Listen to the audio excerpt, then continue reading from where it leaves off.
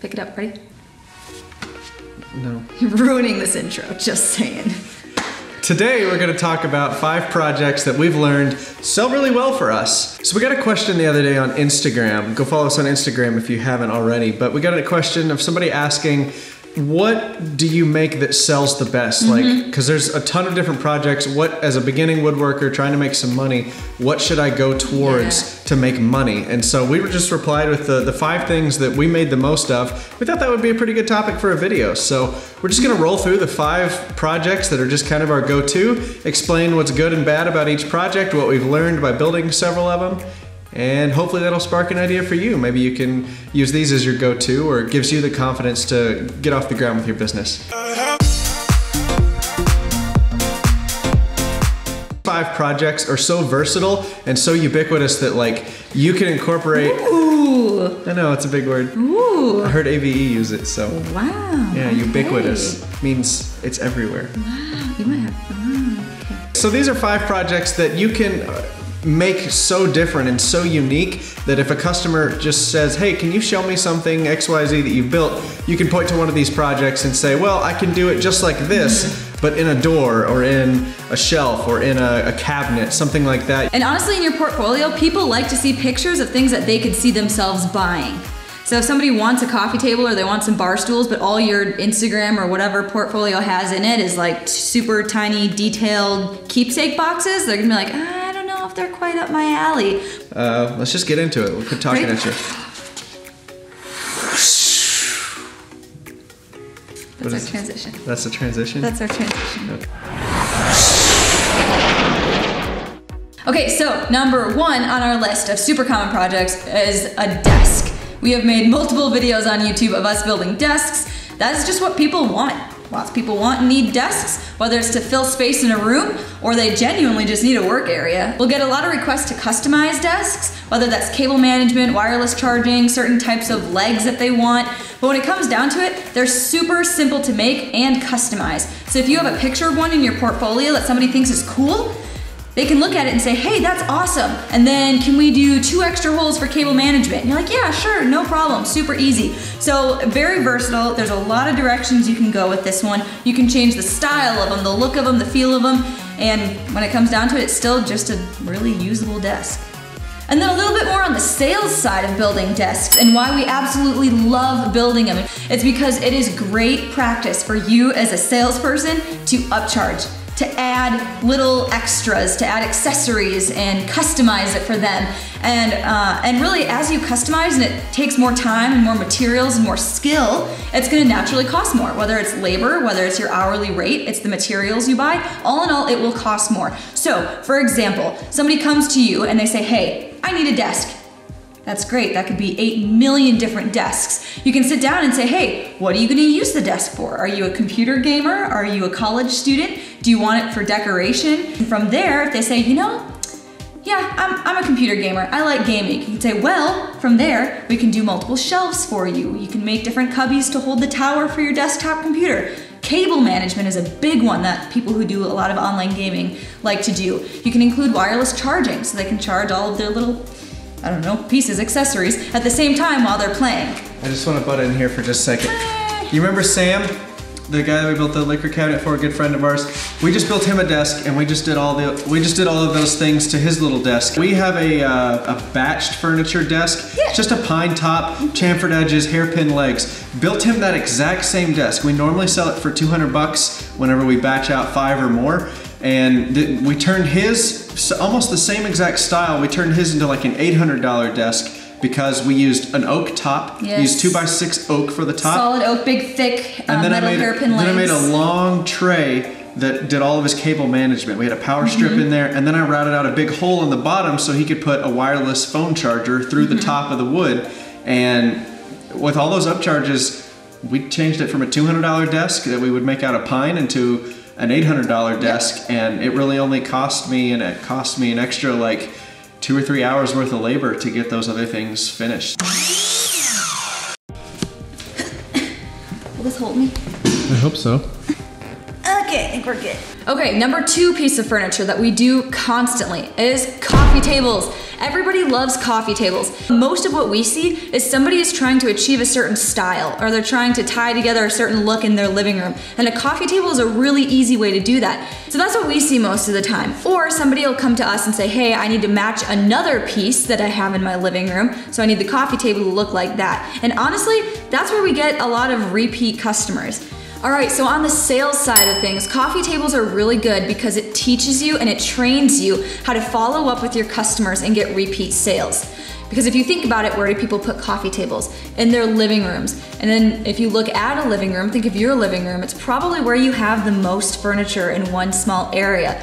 That reason being because that's the room everybody sees. You have guests and company come over and you sit on the couch in your living room around your coffee table, you serve drinks, maybe you have some end tables, a shelf in the corner, a TV stand. There's a ton of stuff in your living room. So if there's any area of your house where you want a really nice looking piece that you can, you know, talk to people about for people to compliment and point out the cool design features, it's your living room.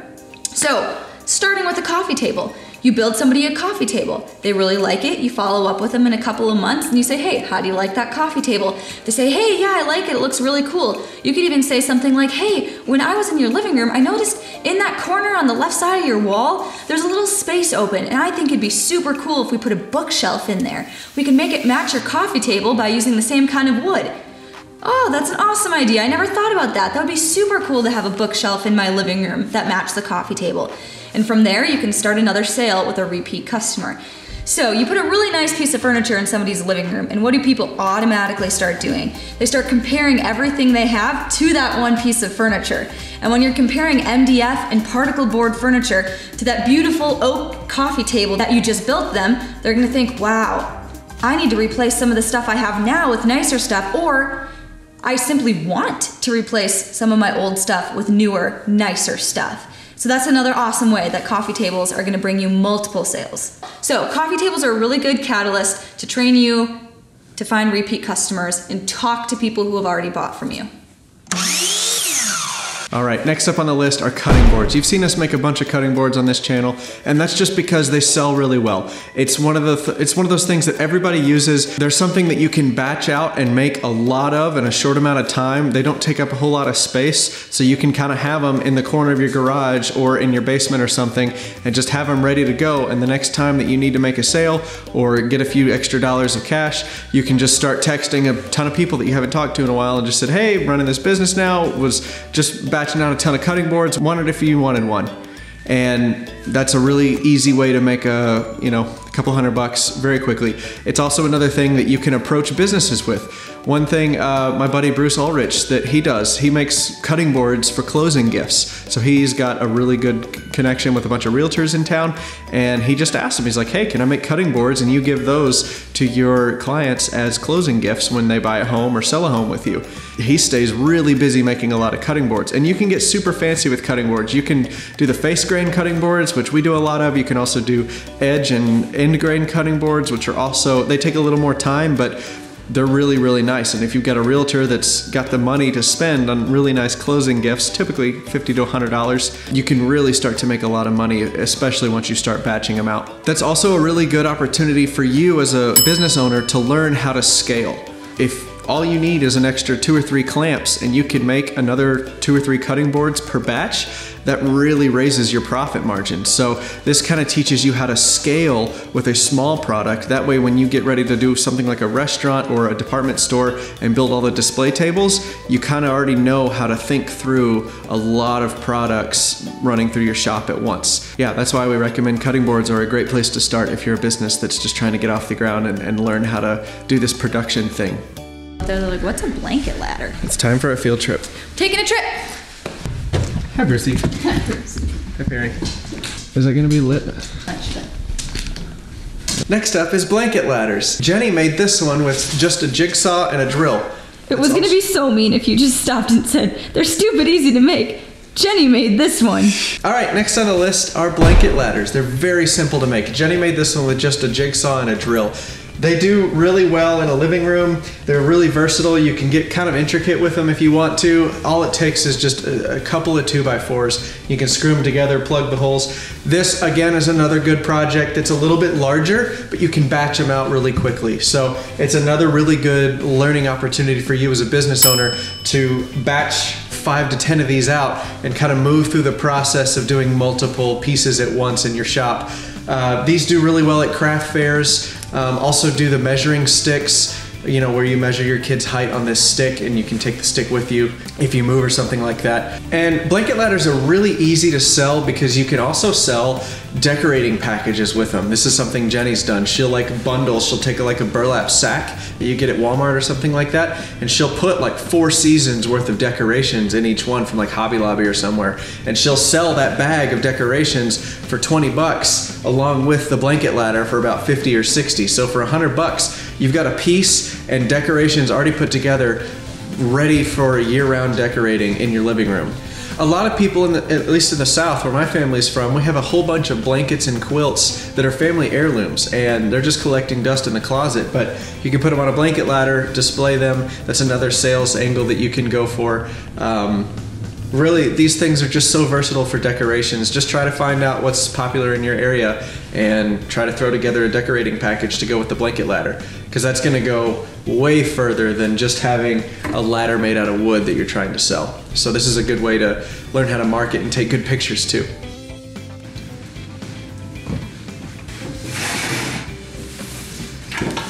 Oh my gosh. So the last thing we're going to talk about is kitchen tables. This is where you can really flex your muscles as a maker. Um, if somebody's buying a kitchen table from you, it's probably not the first thing they've ever bought from you. Maybe it is, but this is a pretty high dollar item. Once you're starting to talk about like custom kitchen tables, you're looking in the two, three thousand dollar range, just kind of depending on the size of the table. This is where you can learn how to make bigger items, you really have to think about your clamping strategy, your sanding and finishing strategies. It's just everything's different with a larger product. Everything changes when the project gets really big. It's one thing to do a bunch of cutting boards and a few other tables, but when you get one or two kitchen tables in the workshop, you start to run out of space really quickly. So it's a good exercise in learning how to, you know, just manage your space, I guess. Mm-hmm. This is where you can really find out how well your shop is laid out because if you can't make a large item like a kitchen table in your shop, you may need to consider getting rid of some things or moving some stuff around, especially if you want to do any sort of like production. You like my Crocs? Ew, I hate. These are my nice Crocs. But yeah, kitchen tables. If you're at the point where you're selling kitchen tables to your clients, I'm pretty sure you've made it because that's something that their family touches, eats on. Like, people will trust you if it's like a small mm-hmm. cutting board or something. But if they're gonna spend two or three thousand dollars with you to build a kitchen table, I feel like you've you've arrived. That person is definitely on your Ferris wheel. I hope these tips have been helpful. These are just the five things that we make the most of that we mm-hmm. feel have the best learning opportunity for a, a, small business or a side hustle trying to learn how to build things. And there's all different types of construction. Like we've covered small things like cutting boards to really big items like kitchen tables. If you can master those five products, products. Products. if you can master those five products, uh, everything is going to go your way, and it sounds like you're off to a great start as a business. So, anything else, Bruce? He says no. All right, well, if you like this video, please hit the thumbs up button. It helps out the channel a ton. It really does make a difference.